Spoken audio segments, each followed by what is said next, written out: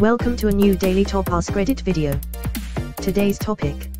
What's one thing you've never told anyone, but will tell us?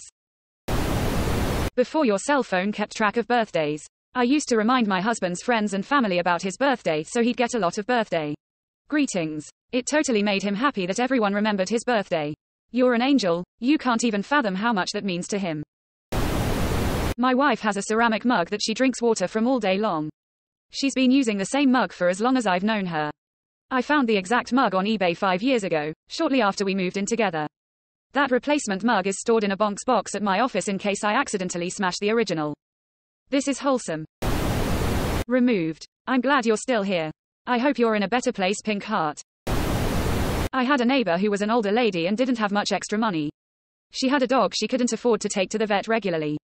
The dog was everything to her. I would tell her I was going to take her dog to the dog park to play a couple of times a week. He was friends with my dog anyway, so it was no big deal. Once a year, one of those trips was taking the dog to the vet. I never told her or any of my neighbors because I didn't want to embarrass her.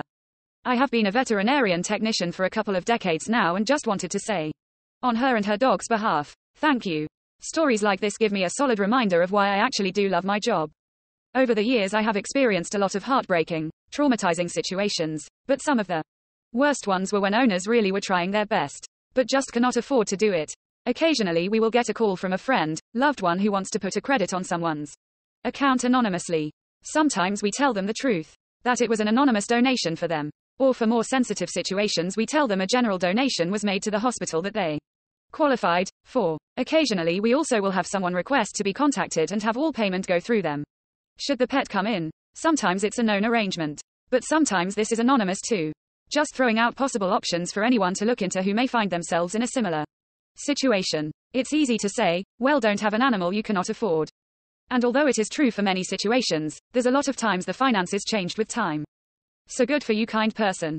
You not only did something selfless for her and her pup, you also took her embarrassment into consideration. Some people only do things for clout and recognition, not the goodness of their heart. Your neighbor may never know what kind amazing person you are, but you and the pup do, and it's your little secret. Even if it's mad at you for a little while for dragging him to the bad place with cones of shame. I was at church summer camp when I was 10 and got up to use the bathroom during a daytime chapel service. On the way there, I was picking at a scab on my hand, and it started to bleed just a bit. Once I got into the bathroom stall, I used some of the blood to write the word die on the wall above the toilet.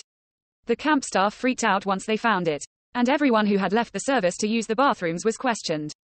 I remember they made a huge deal out of it, and the camp director talked to us about how worried he was. But no one ever zeroed in on me, and my bleeding had stopped by the time anyone was paying attention. I was just really into Sherlock Holmes and solving mysteries. I thought the bloody word looked like the scary cover font on some of my mystery books. I also wanted to see if anyone could solve what happened. Belated apologies to anyone who was a church camp counselor in upstate New York in the summer of 88 and had to deal with my bullshit. Liking Sherlock Holmes and mysteries considered. Writing Die in Blood is wild for a 10 year old. Funny, but wild open mouth smile. As someone that works with a bunch of 10 year olds, this doesn't seem all that wild to me actually. Lol. It's sad. When my mom was on hospice, she wrote down a very short list casseroles, pies. She wasn't always all there. So I asked her what it was. She said, things to make for when I die, my celebration of life. There are probably going to be a lot of people. I think she was trying to think of dishes we could have to feed a lot of people at once. My mom didn't have a funeral. She didn't have a celebration of life. No one would have come. My brother found the note after she died, and was laughing about it. He had no context, so he thought it was a note she wrote when she was less with it, and found it endearing. I let him think that, because the truth was heartbreaking. I've never told him, or anyone else. This is so sad. No one would have come. Why's that? Short answer. My mom wasn't very liked. She was very abrasive and argumentative. She perceived she was a lot more liked than she was. Long answer. She was a bitch. I am a bitch too. See edit below. She taught me to stand up for what you believe in. Stand your ground. Don't let anyone take advantage of you. Which is good, but it doesn't get you liked overall. But she lived in a different reality as she got older. She was 60 when she died. I think she may have developed minor schizophrenia in her late 40s. She could never do anything wrong, and denied everything bad that ever happened including her physical, emotional abuse to me. Broken bones level. I truly believe that she, honest to God, didn't remember doing those things as time passed. I always thought she was just in denial and refused to take accountability. But she said and did things that made me realize that she actually truly believed it never happened. I learned to forgive, love her again after that. Her brain wasn't working as it should. And you could literally watch her mental state deteriorate. Edit. The word, bitch, has been reclaimed. Women get called bitches for being strong, independent, standing up for themselves, knowing their worth, etc. Many women have reclaimed the word because none of those things are bad. If doing those things makes me a bitch, I guess I am one.